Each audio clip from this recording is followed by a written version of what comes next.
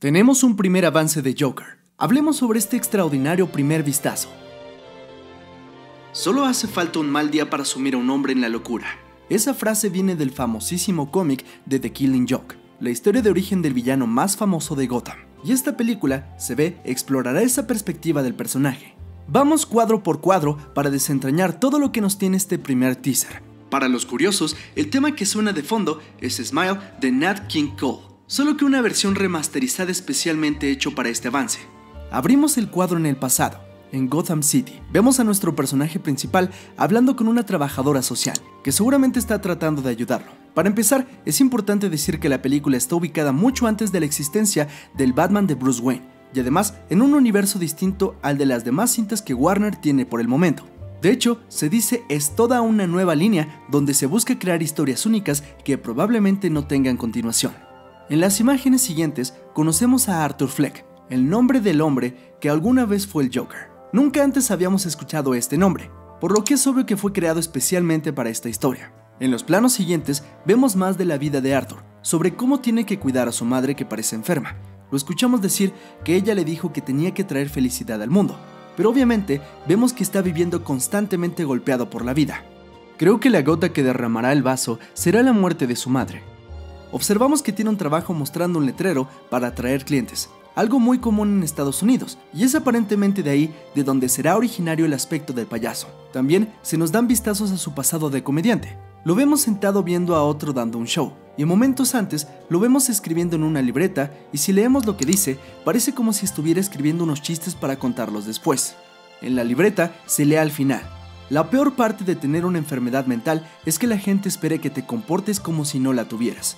Es evidente, incluso en estas notas, que Arthur tiene problemas mentales, pero han estado contenidos. Podemos ver cómo la letra comienza con un orden contenido y después pierde forma. Algo que me gusta de este primer teaser es que vemos que no solo él está perdiendo el camino, también la ciudad que lo está orillando a ir poco a poco perdiendo el control. Como saben, Gotham es un reflejo de Nueva York, y probablemente en los 80, años donde se escribió por cierto Killing Joke, esta ciudad de Nueva York estaba pasando por momentos difíciles con una desintegración social muy fuerte que la llevó a un alto índice de inseguridad y violencia.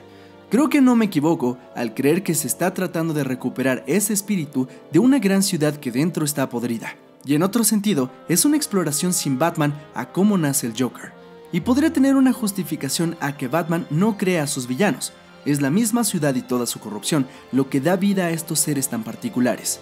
Siguiendo con el avance, podemos ver una enorme transformación de Joaquín Phoenix como Arthur Fleck bajando bastante de peso y dándonos una interpretación infantil que se va transformando en amenazante. Dentro de la película tenemos varios coprotagonistas. Primero está Sassy Beats, que conocemos por Deadpool 2. Aparentemente ella interpretará a su interés amoroso, o algo parecido. También tenemos a Brett Cullen, que interpreta a Thomas Wayne, el padre de Bruce Wayne, que aparentemente será una oposición a la aparición del Joker. Lo interesante es que en este mismo avance tenemos un vistazo al mismo Bruce, o eso es lo que yo considero. Parece como si Arthur estuviera fuera de la mansión Wayne y el niño al que hace sonreír es el pequeño Bruce.